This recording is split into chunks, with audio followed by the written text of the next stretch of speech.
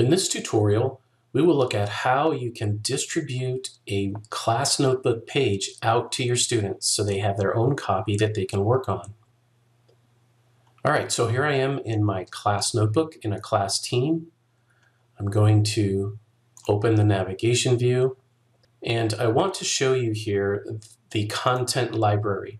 Now this is a place where you can create pages, your students can click in here and view them. They are read-only to the students. So you can actually have informational pages in here, resources and links for them to access. But you can also uh, create pages in here for them to work on. Now they won't work on them in here, so you'll have to distribute the pages out to them. Just so you know, you can also distribute a page from the welcome section, and you can even distribute a page from your teacher only section. All right, in this example, I'm going to distribute a page from within my content library.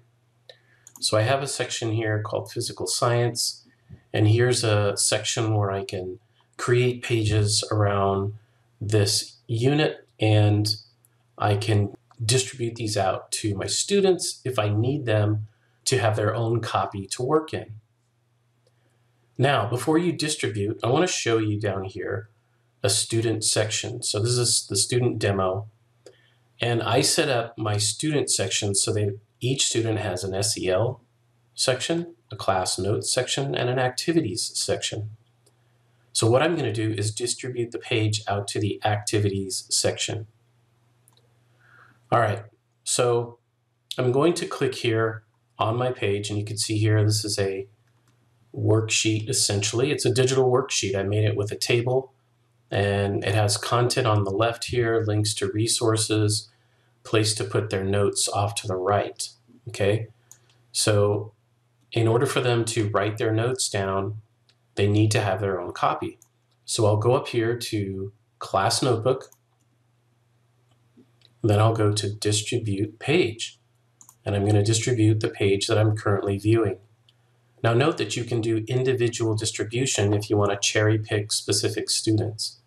You can also send this to cross notebook distribution. This means you can send this activity to other class teams.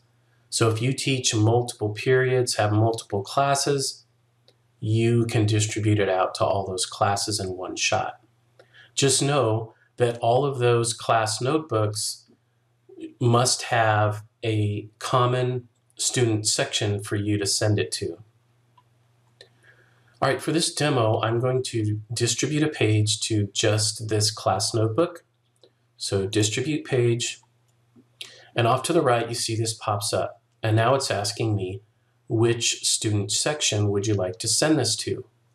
In this case, it's an activity, so I'm going to click Activities, and I will click Distribute. All right, that will process and send out a copy for each and every student in my class. Okay, we see it's now done. We can close this and let's go take a look. So I'll open up the navigation and we'll go down here under the student demo and we'll go to the activities section for this student. And here it is, physical science unit. The student can come in here, they can click on it, and look at that. They have their own copy to work in now because they have full edit rights within their own section. And that is how you distribute pages out to your students.